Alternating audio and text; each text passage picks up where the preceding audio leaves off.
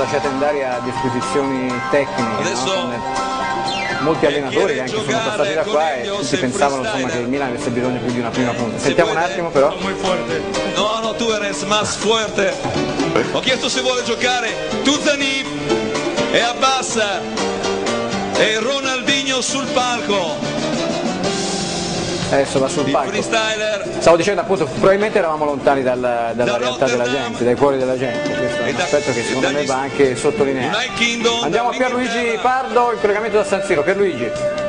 Vediamoli insieme. Qua siamo Se puede- testimoni comunque di un momento bellissimo, quello che state vedendo con i vostri occhi. Adesso Ronaldinho comincerà a palleggiare, insomma l'ambizione nemmeno tanto nascosta dei dirigenti del Milan è che possa fare un po' di freestyle, come dicevamo prima, con Adriano Galliani, che possa far vedere qualcuno dei suoi numeri da capogiro che ha fatto vedere in questi anni a Barcellona. E quindi adesso insomma, al di là delle mie parole, lo spettacolo immagino lo faranno i loro piedi. Eccoli qua Alessandro.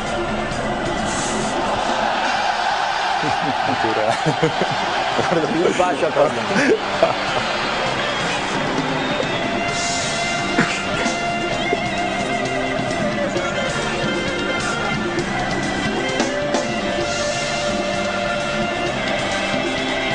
Io fossi nei bianchi sarei un po' in difficoltà, invece loro mi sembrano perfettamente a loro agio. Eh?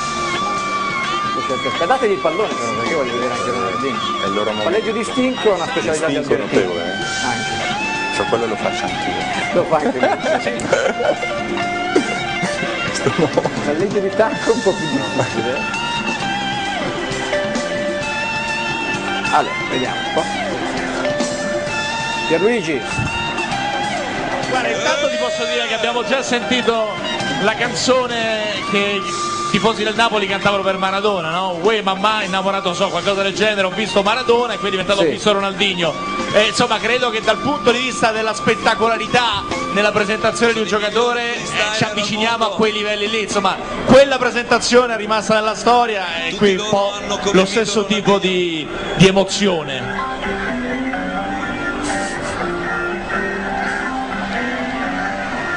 allora, questi numeri solitamente sono finestre stesse, no? nel senso che poi Sì, ma adesso lui, lui si diverte sicuramente, però eh, è un qualcosa in più che, che lui fa come giocatore, no, ma appunto, ma infatti volevo sottolineare quello che dicevo lui ha una forza incredibile, è un giocatore che poi tornando al discorso di prima, lui ha giocato tante volte anche al Barcellona come prima punta scambiandosi con eh, Samuel, quindi è un giocatore che, che quando è in condizioni fisiche ottimali fa la differenza. Sì, no, anche perché dà l'im- dà l'impressione di essere un, eh, un po' gracile, in realtà è gracile per niente perché ha una potenza, una forza, una capacità nello, Difende. nello scatto eh, incredibile. Chi lo ha osservato da bordo campo o sul campo come compagno come Demetrio Albertini insomma ha sempre sottolineato questo connubio tra la tecnica e la forza fisica. Attenzione.